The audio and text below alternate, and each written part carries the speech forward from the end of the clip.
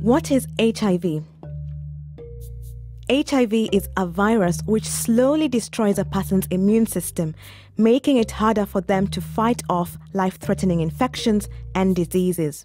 If it's left untreated, it can develop into AIDS, which is the most advanced stage of HIV. But with early diagnosis and the right medical treatment, most people with HIV won't develop AIDS and will live a long and healthy life. How does HIV spread?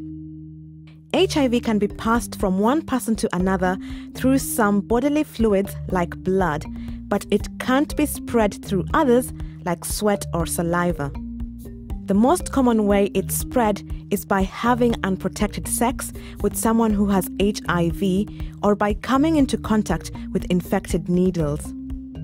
Pregnant women with HIV can also pass on the virus to their babies during pregnancy, at birth, or while breastfeeding.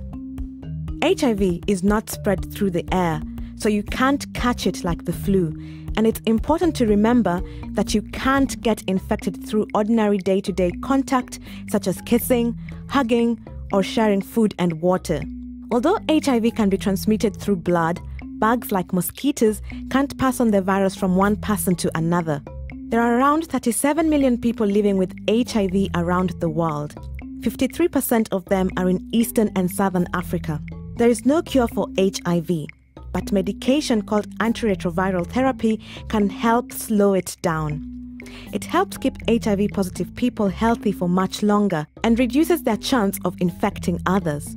Medical advancements mean that many people with HIV today are living long and healthy lives, and more and more people are getting tested, which is a big step in reducing the number of people living with HIV.